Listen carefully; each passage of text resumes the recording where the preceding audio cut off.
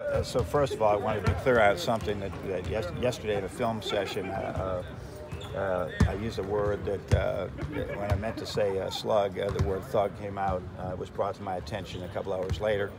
Called all the players afterwards, explained the situation we met about today. We apologized. I apologized about it today as well. It was not never intended, and players understand that now. But it, it's something I have to learn from and just enunciate better and, and be, be just uh, more clearer with what, what my intentions were. So I, they all know it, they understand it, but uh, it's something that's unfortunate that we got we'll get behind us without question. What exactly happened? Was it you, was it in reference to like a certain set of film, or was it? It was in reference. It, it, was it was a complimentary, where where I, I was saying uh, we're we're making some really we're making a lot of mistakes uh, mentally, and we're and, and we deserve better because we're really playing hard right now. We're not playing like slugs.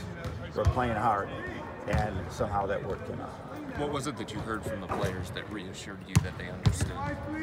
Oh, last night it was like, Coach, you're good, I'm good. Uh, that was basically the, I think, the catchphrase that many of them use.